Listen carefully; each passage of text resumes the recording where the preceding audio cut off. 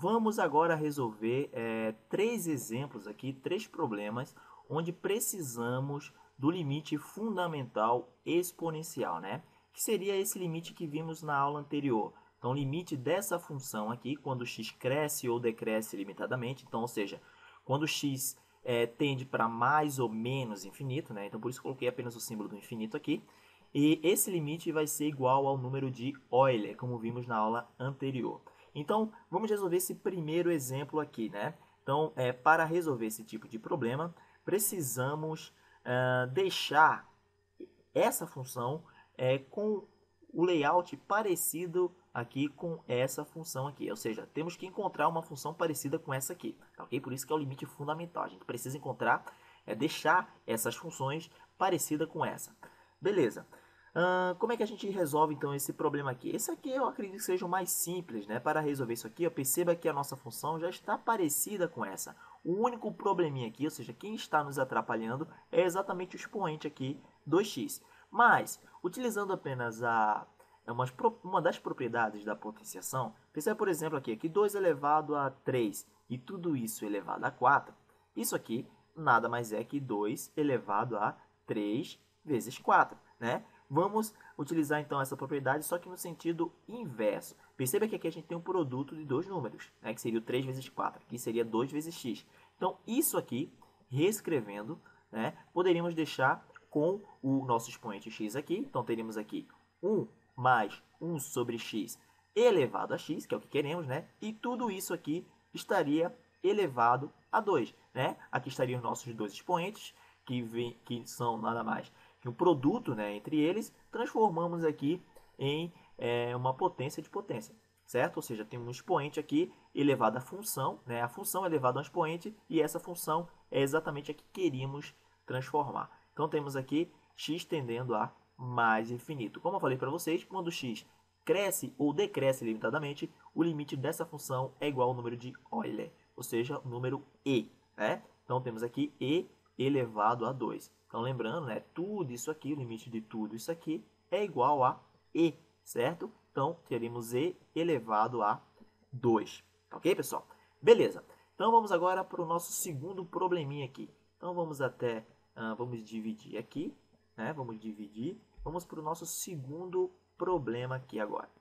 Perceba que agora, o que tem de diferente aqui, que está nos atrapalhando, seria o 2 uh, sobre x, né? Se tivéssemos aqui 1 sobre x, tudo bem. Só que o nosso problema agora é o 2 sobre x. Então, o método para resolver esse tipo de problema é o seguinte. Substituir né, é o método da substituição. Bem parecido com o que vimos, que vimos né, lá no limite é, fundamental trigonométrico, na aula, uma das aulas anteriores. Então, como é que a gente pode resolver esse tipo de problema aqui? Ó?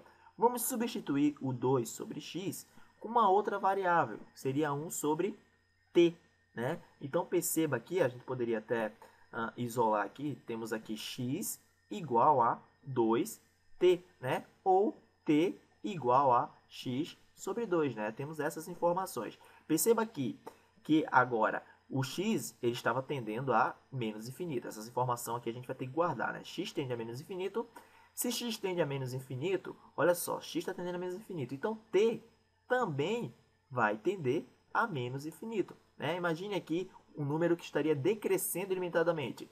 O, a metade desse número também vai ser um número que está decrescendo ilimitadamente. Lembrando que o infinito, o símbolo do infinito, né, representa um número variável. Isso aqui a gente viu lá nas aulas sobre infinito, certo? Então, temos que guardar essa informação aqui, que é de extrema importância no método da substituição. Então, temos aqui agora o limite, reescrevendo, vamos ter o limite de 1 mais 2 sobre t, 2 sobre x, né, chamamos de 1 sobre t. Então, temos agora 1 sobre t e t agora está tendendo a menos infinito. E quem seria x? Ora, x é igual a 2 vezes t.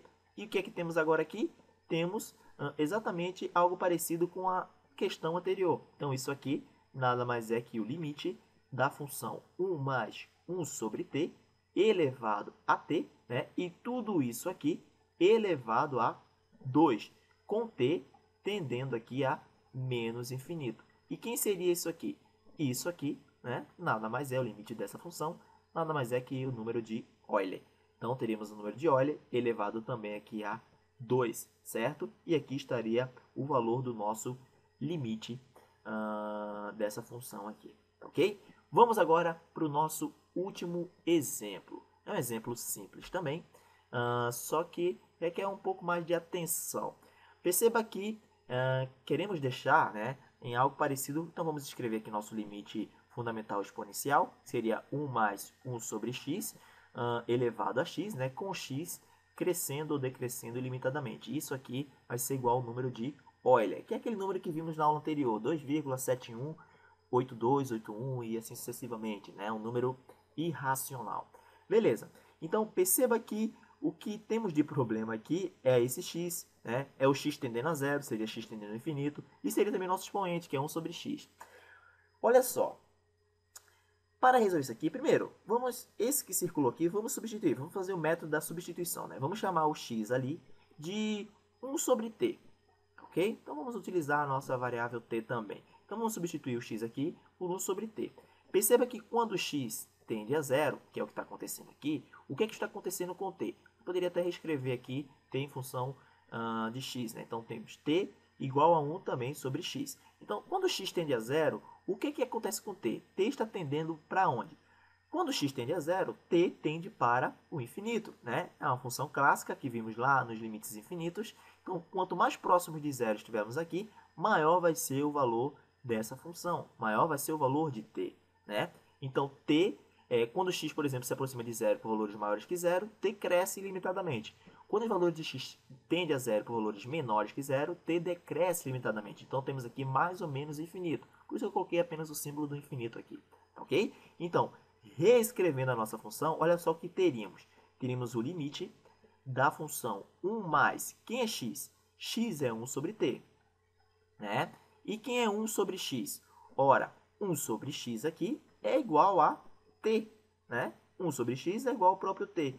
E t, já que a gente está falando de t agora, está tendendo a quem? Está tendendo para o infinito.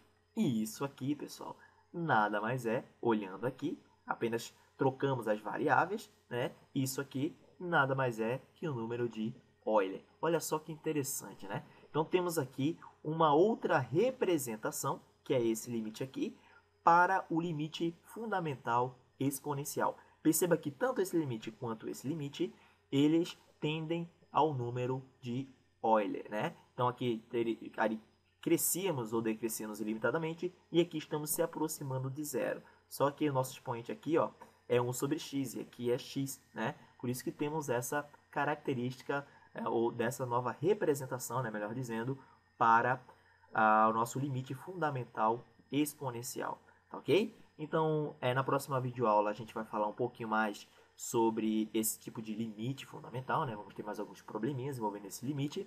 É, espero vocês lá. Visite o nosso site matematicabajosé.com. Inscreva-se também no nosso canal para receber as atualizações dos vídeos, né? Estamos sempre atualizando os vídeos, melhorando alguns e, e tentando sempre melhorar as nossas videoaulas. Mande sugestões no nosso site, no matematicabajosé.com, como eu já falei, e é, curta também o vídeo caso tenha gostado. Até mais, galera!